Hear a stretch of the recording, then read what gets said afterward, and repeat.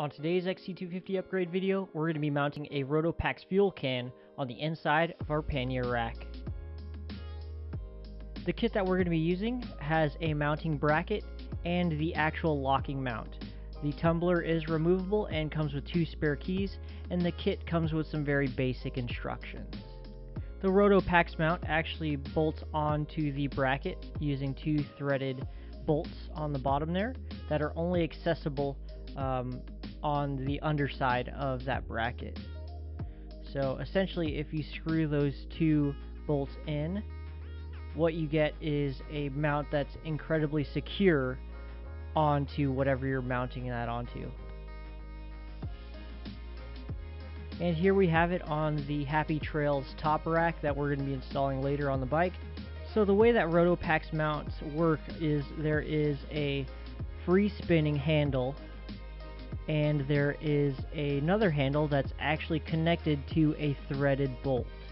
That threaded bolt spins into the base and your free spinning mount is actually what locks your Rotopax onto the mount using two detents. So I didn't quite understand this at first, but when you twist the free spinning one onto those detents, your top handle is what you actually twist on to increase the tension on the mount. And all you have to do is get the two handles lined up and you can drop your tumbler in. And of course this is the same for non-locking Rotopax mounts, but this one just happens to have the tumbler. So what you'll have to do is determine how the Rotopax is actually going to fit onto the mount and what mounting locations you're going to use on the inner rack. I did this by installing the Rotopax onto the locking mount and just kind of seeing where the holes would line up.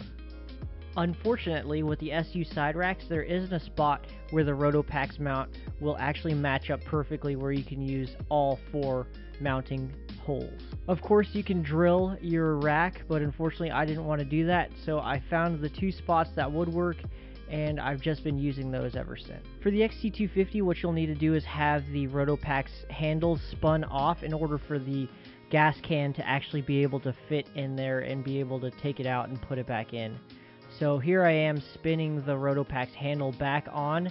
It is kind of tedious, but this is just kind of how it works in terms of the clearance with the swing arm and the Rotopax fuel can.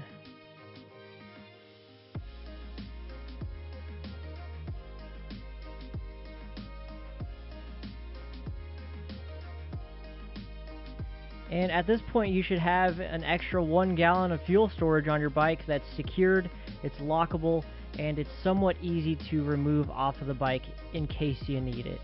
You, one of the great things about having your Rotopax set up this way is you can actually fill it up while it's still locked onto the bike.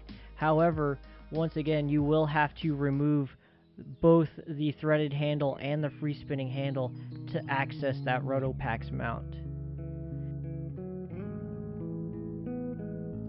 Because of the way that the Rotopax is mounted onto the SU rack, it's actually incredibly secure. Because with your pannier on the rack, there's no way to access any of the bolts or nuts on the Rotopax mount.